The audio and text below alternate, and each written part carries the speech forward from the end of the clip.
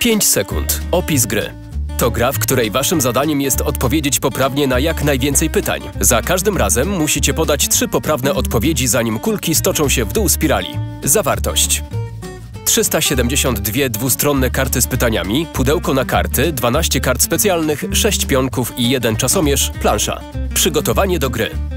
Rozłóżcie planszę. Każdy gracz wybiera kolor pionka, którym będzie grał i umieszcza go na polu start. Wybierzcie kolor pytań, na które będziecie odpowiadać i umieśćcie część z nich w pudełku. Każdy gracz otrzymuje jedną kartę następny i jedną kartę zmiana. Przebieg gry. Najmłodszy gracz rozpoczyna zabawę. Osoba siedząca po jego prawej stronie wyciąga pierwszą kartę, czyta głośno pytanie i odwraca klepsydrę. Gracz ma teraz 5 sekund na udzielenie trzech poprawnych odpowiedzi. Jeżeli zdążył, przesuwa swój pionek o jedno pole do przodu. Teraz kolej na następną osobę. Jeżeli graczowi nie udało się udzielić trzech prawidłowych odpowiedzi, wówczas pytanie przechodzi na kolejną osobę. Ma ona jednak utrudnione zadanie. Nie może powtórzyć odpowiedzi, które padły wcześniej.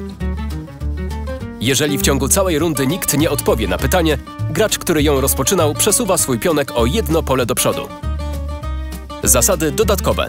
Jeżeli nie podoba Ci się otrzymane pytanie, możesz zamienić je na nowe. Służy do tego karta zmiana.